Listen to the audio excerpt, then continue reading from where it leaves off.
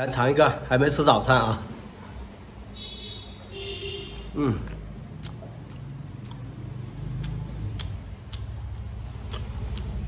这个是上等五仁的，特别香啊。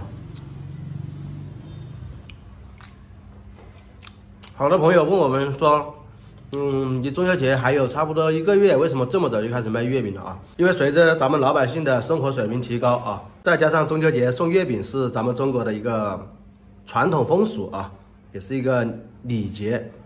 每年每个家庭应该会收到好几份月饼，但是一般都会记住第一个送月饼来的人啊。大家说道哥说的有没有道理？所以送月饼也要抢早啊，因为有时候你家里面五六个月饼，你甚至不知道这个月饼到底是谁送的。但是第一个送月饼送给你的人，你一定能够把它记住。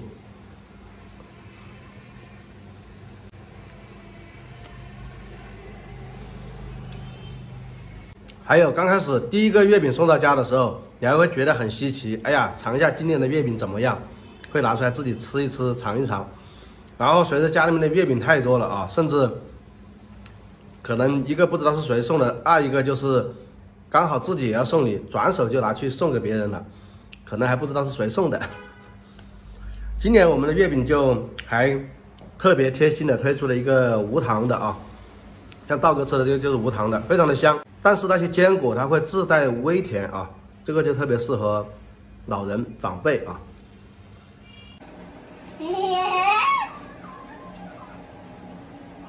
不是无糖的，那你都可以吃。哦，无糖的，我们老人家吃的很哈。嗯。吃个排骨嘛。吃饭了啊，我一个人先吃，因为。下午有一件很重要的事情啊，我吃了马上就要走了。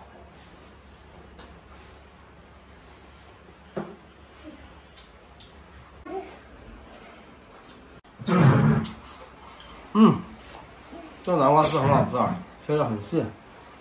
这个排骨。吃排骨，我吃排骨，我吃排骨。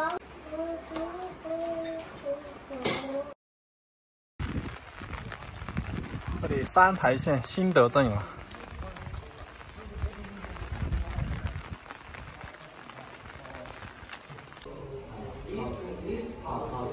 现在在这边商量一下啊。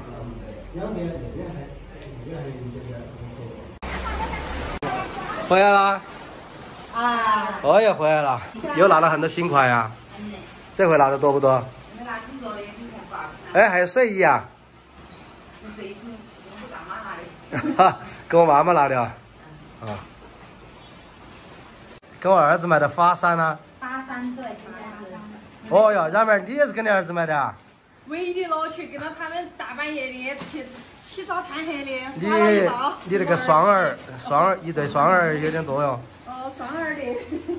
今天我们三个女人去逛，感觉。洗洗都买了。嗯，感觉去买衣服。买衣服的时间比拿货的时间用的都还长，最大乐趣是给小朋友选衣服，一个娃娃一套。没跟我买啊？你给儿子买那么多，给我妈也买了，就跟我就把我搞忘记了。你你给你老公买没没有。你你给你老公买没都没跟老公买。你现在哪里在家里面那么不值钱啊？都没考虑过。老公穿不上，我呢。那么不值钱啊？太多了。我没得衣服啊。我的夏天的衣服啊，短袖啊，现在天那么冷了。哪过来的呢？真的是。还真的是，还真的是。那你还你还给你儿子吃醋粉？哎，我看下这个裤子呢。对。跟糖宝买的时候，记得给我也带两件嘛。哎呀，你你不缺。好歹也是我们家里面的主要劳动力嘛。只要劳动力是的劳动。哎呀，别说一模一样。啊，你跟糖宝买了好多件了，到底？